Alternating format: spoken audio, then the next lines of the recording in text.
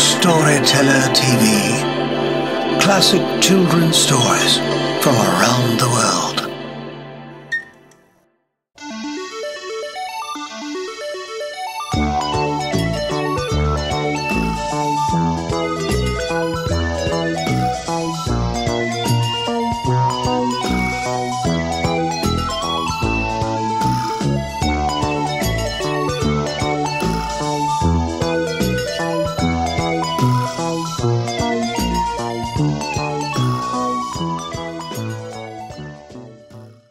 Dot and the Kangaroo.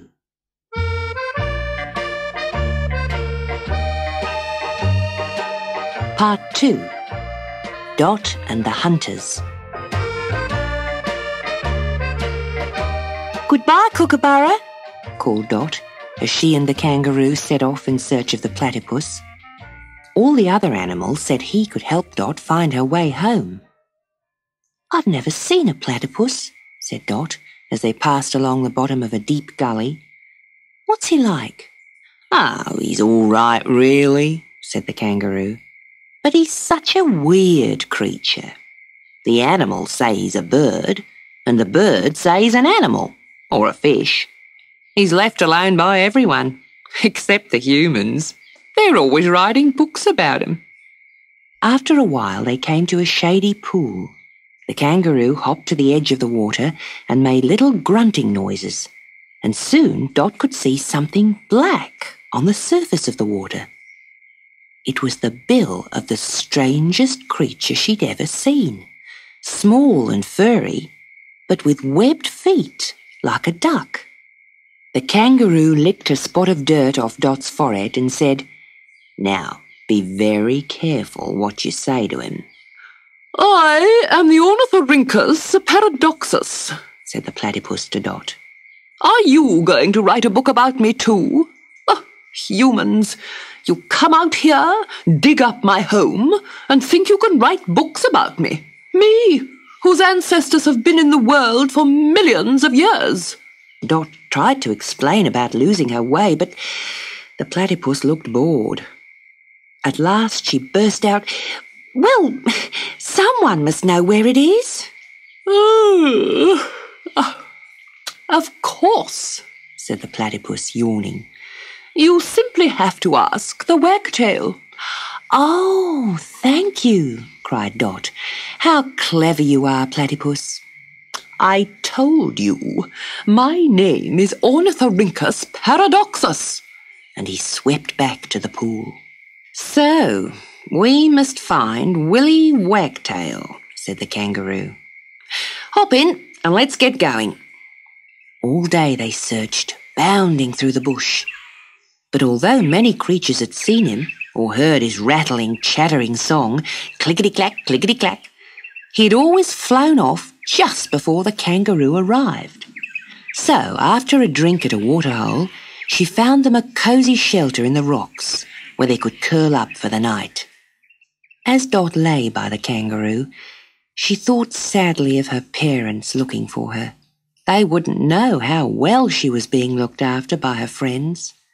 The stars peeped through, and Dot tried to count them. Suddenly, she opened her eyes.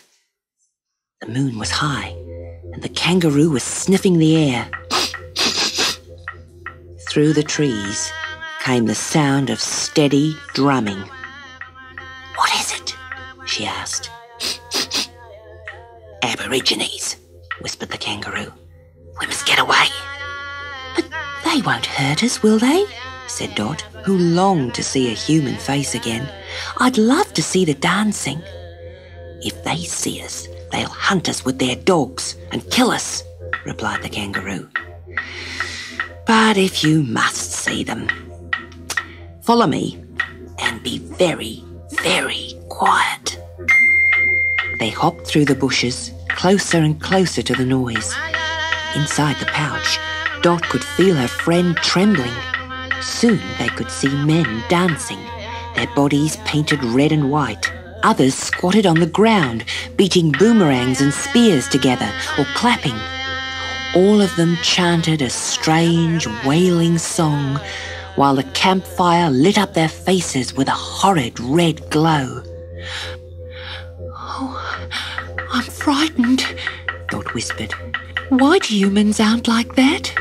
All humans are the same underneath, said the kangaroo. They all kill us. Look, the dance is about killing kangaroos. One of the dancers is pretending to be a kangaroo, and the other is pretending to hunt him. Dot gave a shiver and whispered, oh, I wish I wasn't a human. The gentle animal patted her. Oh, there are a few good humans, she said. If you never wear kangaroo skin boots and never, never eat kangaroo soup, you could grow up to be one.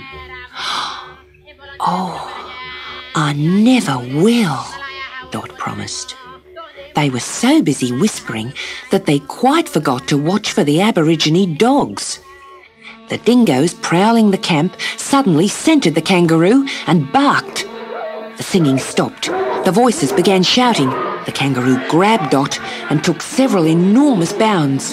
She seemed to fly through the night. But the snarling dogs and yelling Aborigines were all chasing her now. Poor Dot was terrified. The moon was bright, and the huntsman could easily see the leaping kangaroo. She put such power into every leap that she began to gasp for breath. Oh, kangaroo! Dot cried. Put me down. Without me, you might get away. Never again, panted the brave animal. That's how I lost my little Joey. Suddenly, she came to a halt. She was perched on a rock.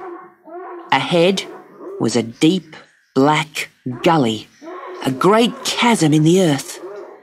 Far behind them, Dot could see the hunters.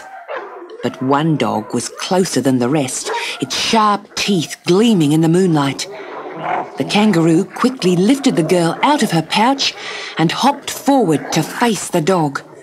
She stood straight and tall and opened her little arms wide. With a terrible snarl, the dog sprang at the kangaroo's throat. But she seized it in her two black hands, kicked out with one of her powerful hind legs, and when she threw the dog to the ground, it was dead but the other hunters were getting closer. The only chance was to leap the chasm. The kangaroo picked up Dot, put her back in her pouch, and leapt towards the fearful gulf. Again Dot cried, Oh, darling kangaroo, leave me here and save yourself. But she heard only the whistling of the wind. Then came the great spring. Dot held her breath, and they flew through the air. Yes, they had just reached the other side. No, the kangaroo was slipping back into the gully. She fought for a foothold, found it, staggered forward, then fell, exhausted, on her face. In an instant, Dot was out of the pouch and had her arms round the poor animal's neck.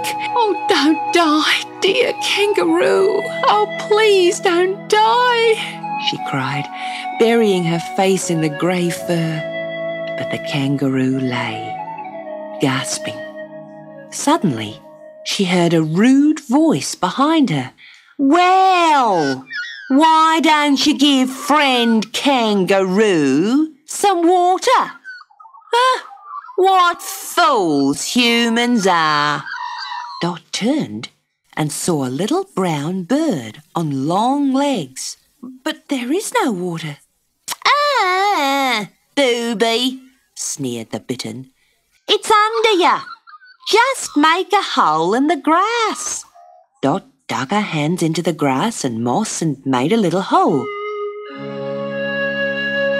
At once, beautiful clear water welled up in it. She scooped it up and splashed it over the kangaroo's panting tongue and matted fur. To her delight, the brown eyes opened and she knew that her good friend wasn't going to die.